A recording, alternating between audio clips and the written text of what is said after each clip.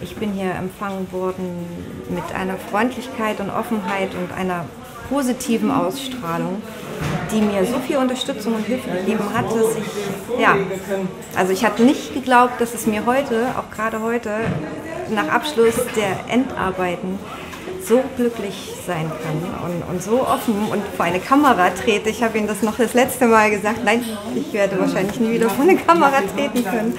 Und heute ist es für mich ähm, ja, die Befreiung. Also ich fühle, dass das heute auch der zweite Tag meines neuen Lebens ist.